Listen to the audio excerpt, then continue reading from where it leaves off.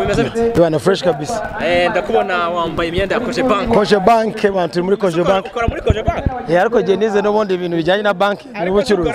inkoramo n'ubundi niyo mpamvu ndimo oya ndimo tu koje bank. Eh. turi guhu- kuburira abantu gufunguza amakonte biteza imbere.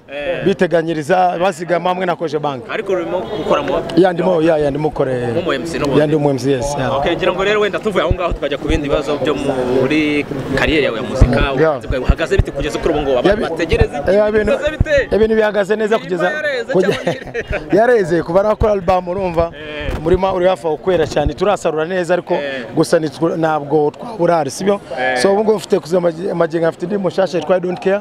Abantu barayizi so ndi mu karaka urayibona ndakuramo akantu hano dukora videos. Binasohora indi collab ndi kumwe na Sean Prince nikirukira niya Papito n'izindi birahari man ya eh. Yes twabonye usohora album yawe. Umurima yes ya. urimo warayisohoye so mva uteganya kuzasohora iyindi album Ah, uyu mwaka ndashaka kuzakora one man show. One man show yes. Aririmba, nyine ewana. no eh one man show. Ku buryo nzatumira n'abanzi bagenzi banjye ariko bicare. You know i challenge them. So ndashaka gutangira gukora ibintu bitarakorwa n'abandi bahanzi.